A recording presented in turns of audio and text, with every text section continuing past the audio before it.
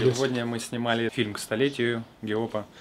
И нам предстоит еще много съемок по объектам реставрации, которыми они занимаются. Сегодня, в частности, мы снимали с новым подвесом Сергея.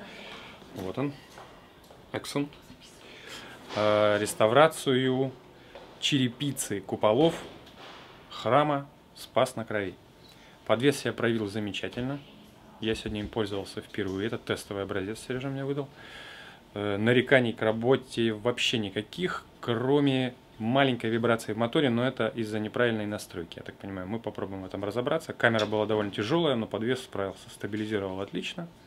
Я очень доволен. Мы поставим в следующий раз приложение, чтобы ты мог угу. на оперативно на месте, да. да. К столетию Геопа мы снимаем кино. Ну, вы понимаете, это вся архитектура Петербурга, все самые вообще просто здания мечты, э, все доминанты городские, все, все будут наши. Мы сейчас начали вот э, Спас на крови, вот только что спустились оттуда высота там 90 метров, да? Там такие винтовые лестницы, вначале так все просторно, потом уже, уже, уже сказали не брать с собой габаритную технику и толстопопых ассистентов, поэтому взяли вот твой подвес прекрасный, он отлично везде проходил. Было несколько задач, но в частности мы снимали прям с рук, Юра снимал героя, вот, и он тоже ходил там по кругу, хотя это узкое очень пространство, и все мы замечательно все помещались, да, все в движении, и он прям нам комментировал, да, так что подвес. А вешали микрофон сюда или как? как Нет, что у нас был звукорез. А, с пушкой. Ну, мы все пятились, конечно, ну, слушай, за счет того, что эта конструкция легкая, это все позволяет в таких вот, знаешь, вот, ну, тут же с коптера у нас летали, снимали. И подставочка вот эта прям У нас все по-взрослому, да-да-да. То есть очень часто с подвесами проблема в том, что его некуда поставить, некому дать подержать, да, а тут его просто вот выставил, поставил, настроил камеру, спокойно все. Вот, так что у нас Юсуповский дворец, Казанский собор,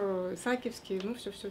Друзья, если вам нужен электронный стабилизатор и вы затрудняетесь с выбором, можете проконсультироваться у нас, написать лично мне или позвонить. И мы с вами поговорим, мы поймем, какой из стабилизаторов лучше всего вам подходит. Желаю вам успеха, радости, прекрасных кадров и самого самого доброго. Подписывайтесь на наш канал.